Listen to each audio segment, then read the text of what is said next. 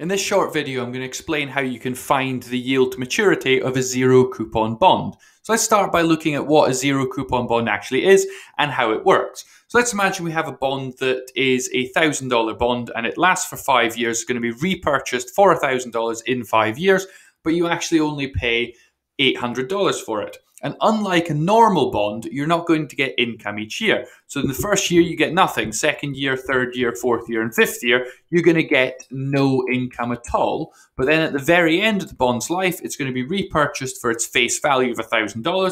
So you'll receive $1,000. Because you only paid $800 for it, that's when you get your return. So you're going to earn $200.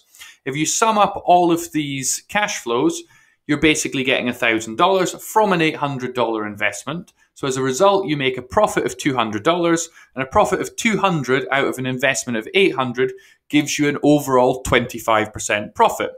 However, this is just the profit you get at the end. The question is, what is the effective profit that you get each year? What is your actual rate of return? So the question we really want to be answering to find the yield to maturity is what is the equivalent compound rate of return per year? And the answer to this question is, of course, the yield to maturity. The yield to maturity tells you what compound rate of return you're getting from this bond. And with a zero coupon bond, it's all at the end. If you want to find how to find the yield to maturity of a normal interest paying bond, you need to look at my other video that I'll link to in the description below. So let's look at how you do it for the zero coupon bond. So this is the formula that you need to use. The yield to maturity is the nth root. So if n was 2, it'd be the square root. If n was 3, it'd be the cube root of the face value divided by the price minus 1.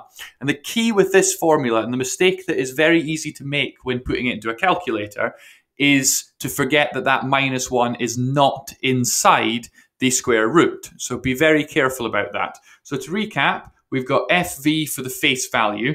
FV is one variable, not F times V. FV stands for the face value. Then we've got P for price. That's the price that you actually pay. The face value is what you will get back in returns.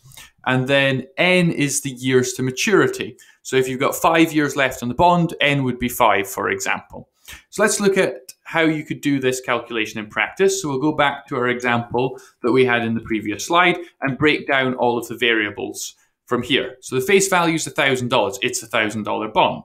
The price is just $800. That's what you pay. And then the number of years left on the bond is five. So you have all of the data that you need. So let's have a look at the equation, but let's color code it.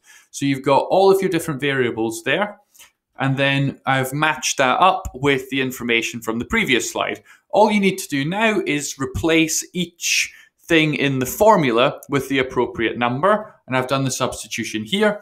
You would then enter this into your calculator, being very careful to ensure that the minus one is outside the square root. Otherwise, you will get problems.